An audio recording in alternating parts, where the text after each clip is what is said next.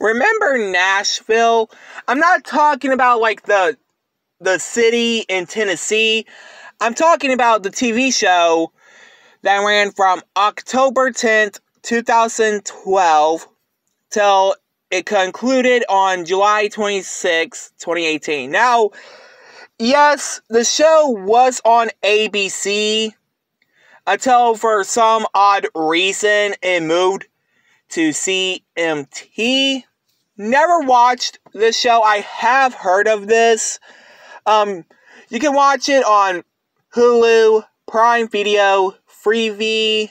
The other ones, I think you gotta buy like the seasons on DVD or whatever.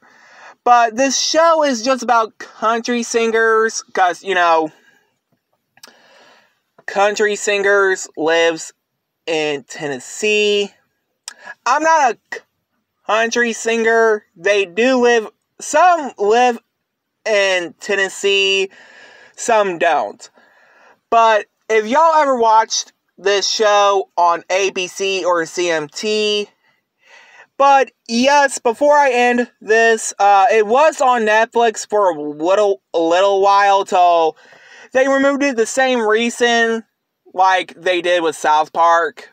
But yes, if y'all do like country singers like Blake Shelton, Morgan Wallen, anyone who's a country singer, let me know down comments below and tell me if you ever watch this show and if it's worth a watch.